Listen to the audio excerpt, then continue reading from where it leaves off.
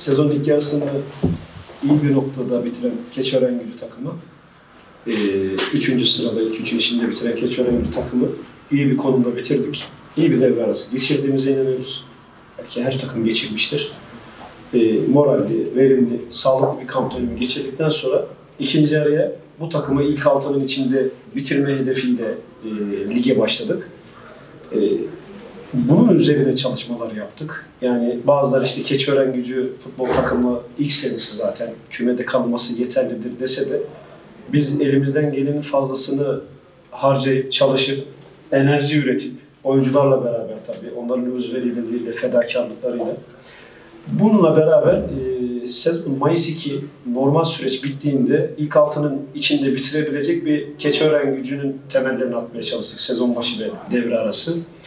E, tabii geçtiğimiz Eskişehir ve Osmanlı spor maçlarında oyun anlamında e, çok memnunum. Ama bizim bir hastalığımız, bunu da ben oyuncularla da paylaştım. Haftayacı de paylaştım. Bu maçtan önce de paylaştım. Bir süreç, dönemsel bir süreç. Yani e, gol atmayla alakalı gerçekten sıkıntımız var. Bazen hani dinlendirmeyelim diyoruz. Çok söylediğimiz zaman da üzerimize gelir ya ama bazen de ciddi moraliniz bozuluyor. Bugünkü maçta olduğu gibi. Şimdi belki çok sağlıklı düşünemiyorum daha sıcağı sıcağına ama e, tahminim en az 6-7 tane net pozisyona girdiğimiz ki Adana Demir e, Spor Futbol Kulübü takımıyla oynuyoruz. Bunlar bu oyuncu grubu çok fahiş fiyatlara anlaşılmış. E, ciddi oyuncular. E, hepsinin ciddi Süper Lig hemen hemen hepsinin belki bir iki tanesinin haricinde Süper Lig kariyeri olan e, bazılarının Avrupa kariyeri olan oyunculardan kurulu bir takıma karşı çok iyi bir oyun oynadığımızı düşünüyorum. Mücadele üst düzey. Tabii ki karşıdaki rakip dediğim gibi çok sağlam ciddi bir takım. E, kulübüyle, başkanıyla, yöneticisiyle ve oyuncularıyla e, onlar da ilk ikiye girip şampiyon olmak istiyorlar. Biz de bunu bunu bilerek çıktığımız bir müsabaka ama kazanacağımıza çok inandığımız ve e, bizim kültürümüzde de bu e, futbol kulübünün veya işte teknik heyetin kültüründe de işte Adana Demir'le oynuyorum, işte yarın Erzurum'la oynuyorum, işte kapanalım, geriye çekilelim, kontra atak oynayalım. En azından ben kendi açımdan hiçbir şekilde böyle düşünmedim. Ama maçın içinde e, rakip takımın sizden üstün oynadığı dakikalarda üzerinize geldiği zamanlar olabilir mi? Yüzde yüz olabilir.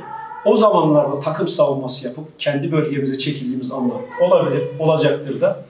E, bugün de o senaryoyu yaşadık. 1-0, evet 1-1'i yakaladık. 1-1-2 yakaladıktan sonra siz de izlemişsinizdir. Orada bizim Kone'nin %100 altı pasın içinde bir pozisyonu var. Atamadık, yine atamadık. Ondan sonra basit bir işte belki ufak bir tecrübe hatasından dolayı çok iyi bir maç çıkartan arkadaşımız ama orada olabiliyor bunlar. Ben soyunma odasına girdiğimde onlara da bunu söyledim. Maçtan önce de söyledim. Ne skor ne olursa olsun size gurur duymaya devam edeceğim. Bugün de onlarla gurur duydum. Olabilir. Bu bir süreçtir. Söylüyorum. Evet zaten siz de biliyorsunuz istatistiklere baktığınız zaman 16 tane golümüz var. Ee, yani bu çok az rakam.